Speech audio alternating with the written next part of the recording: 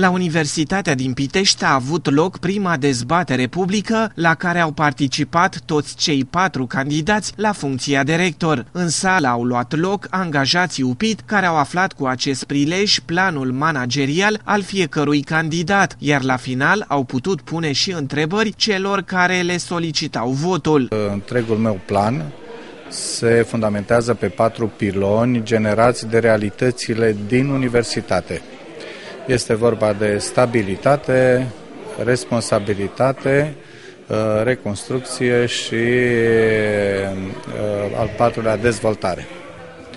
De ce? Pentru că suntem într-o perioadă de criză, avem o serie de factori externi care influențează negativ și aduc o serie de provocări universității.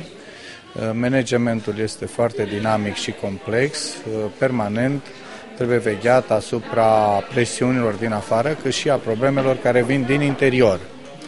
Universitatea merită, trebuie să aparțină nu numai județului și regiunii. În principal îmi doresc câteva lucruri importante.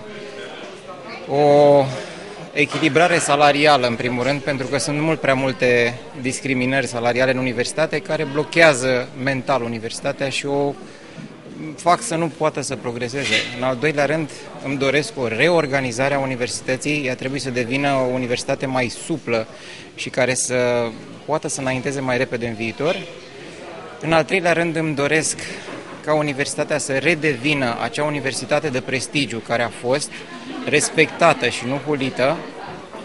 Și, în fine, îmi doresc să văd oameni bucuroși care vin la servici. Cu gândul la studenți, cu gândul la cadrele didactice și la viitorul universității. Încercăm prin noi și cu, împreună cu studenții și cadrele didactice să ajungem la o universitate europeană care să fie vizibilă în exterior și în interior și cu care să ne mândrim.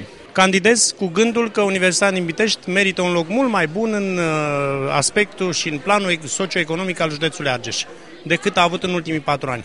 Și sunt sigur că pot să o aduc acolo. Uh, obiective sunt vreo șase mari, Primul prevede redresarea Universității din Pitești și are vreo 13 obiective operaționale și după aia mai avem cu reașezarea ofertei educaționale, cu reașezarea relației cu mass media, cu mediul socioeconomic. Joia viitoare va avea loc o nouă dezbatere publică între candidați, iar pe 22 februarie sunt programate alegerile, rectorul UPIT urmând a fi desemnat prin votul direct al angajaților universității.